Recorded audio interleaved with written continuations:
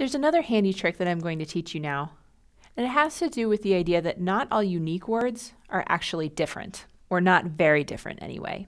Let me show you an example of what I mean. Say in my corpus I have a bunch of different versions of the word respond, where the meaning changes ever so slightly based on the context or based on the part of speech that the word is. But they're all talking about basically the same idea the idea of someone or something responding. The idea is that if I naively put these into a bag of words, they're all going to show up as different features, even though they're all getting at roughly the same idea. And this is going to be true for many words in a lot of languages, that they have lots of different permutations that mean only slightly different things. Luckily for us, there's a way of sort of bundling these up together and representing them as a single word.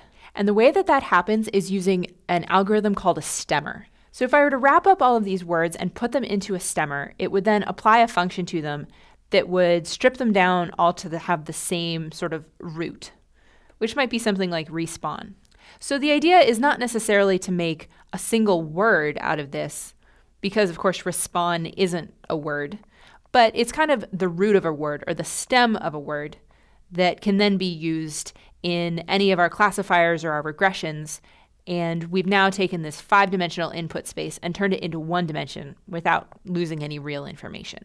Now, stemming functions can actually be kind of tricky to implement yourself. There are professional linguists and computational linguists who build these stemming functions that best figure out what is the stem of a given word.